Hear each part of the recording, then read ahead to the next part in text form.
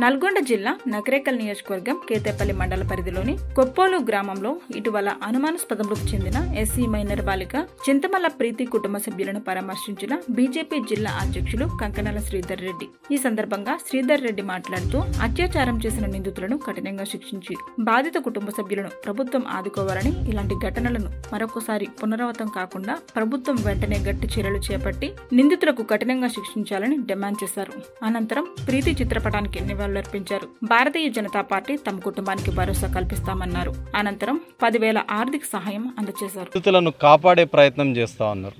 ఇవాళ ఒక మైనర్ బాలికను ఈ విధంగా హత్య చేయటము అక్కడ బీర్ సీసాలు కనిపిస్తున్నాయి మెడకు చున్నీ కనిపిస్తుంది.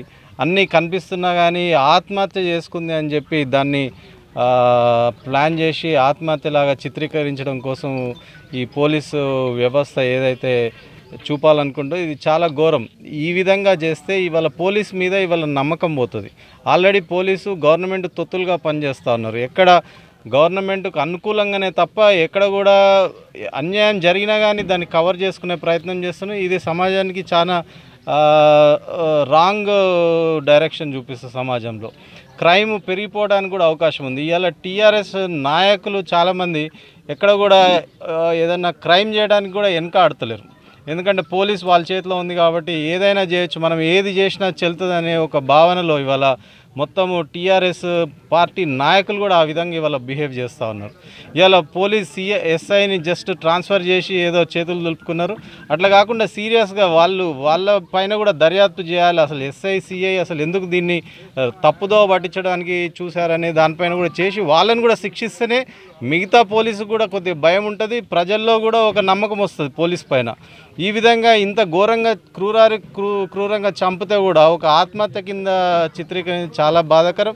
ఇవాళ ఒక దళిత దళిత దళితులు ఎంతో పేదరికంలో ఉండి కనీసం వాళ్ళకు పెన్షన్ లేదు వాళ్ళకు ఇద్దరు పిల్లలు ఉంటే ఇద్దరు కూడా ఇవాళ వాళ్ళకు లేని పరిస్థితి ఉంది. ప్రభుత్వం ఇంతవరకు కనీసం ఒక మాట మాట్లాడలేదు. ఇక్కడున్న ఎమ్మెల్యే ఇంతవరకు రాలేదు అసలు. కనీసం వాళ్ళకి ఎటువంటి సపోర్ట్ కూడా ఇంతవరకు చేయకపోవడం చాలా దురదృష్టకరం. ఈ విధంగా ప్రజల్ని ఈ విధంగా బాధ పెడితే డెఫినెట్గా రానున్న రోజుల్లో ప్రజలు వాళ్ళు ఎవరు ఎవరు కరెక్ట్గా పరిపాలన చేస్తారో వాళ్ళను వాళ్ళనే ఎన్నుకుంటారు. ఈ విధంగా చేస్తే టీఆర్ఎస్ పార్టీ మళ్ళీ వచ్చేది చాలా కష్టం. ఇంత పేద ప్రజల్ని కూడా ఇవాళ ఏదైనా సమస్య వచ్చినప్పుడు కూడా ముందుకు రాకపోతే ఇక ఆ ఎమ్మెల్యే ఉండి ఉండి కూడా ఏం ఉపయోగం లేదు. కాబట్టి ఇమ్మీడియట్గా గవర్నమెంట్ రావాలి. గవర్నమెంట్ తరఫున ఎమ్మెల్యే రావాలి అధికారులు రావాలి. మొత్తం దీన్ని పరిశోధించి మళ్ళీ కరెక్ట్గా దీన్ని ఏం జరిగిందనేది దర్యాప్తు చేసి ఈ తల్లిదండ్రులకు న్యాయం జరిగేటట్టు చేయాలి. వాళ్ళకు వాళ్ళకు డబుల్ బెడ్రూమ్ ఇల్లు కూడా లేదు. పాపం గుడిసెలో ఉన్నారు. ఇలా చాలా చోట్ల ఇండ్లు కట్టిరు కట్టి కూడా ఇంకా పేదలకు పంచుతలేరు.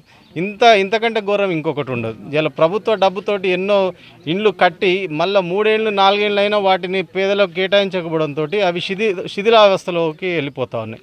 కాబట్టి కట్టిన ఇండ్లు ఎమ్మటే పేదలకు ఇవ్వాలి ఈ తల్లిదండ్రులకు కూడా ఒక డబుల్ బెడ్రూమ్ అట్లాగే ఒక ఐదు లక్షల రూపాయలు వారు ఇబ్బంది లేకుండా వాళ్ళకు అన్ని విధాలుగా ప్రభుత్వం ఆదుకోవాలని చెప్పి భారతీయ జనతా పార్టీ తరఫున మేము డిమాండ్ చేస్తా ఉన్నాం.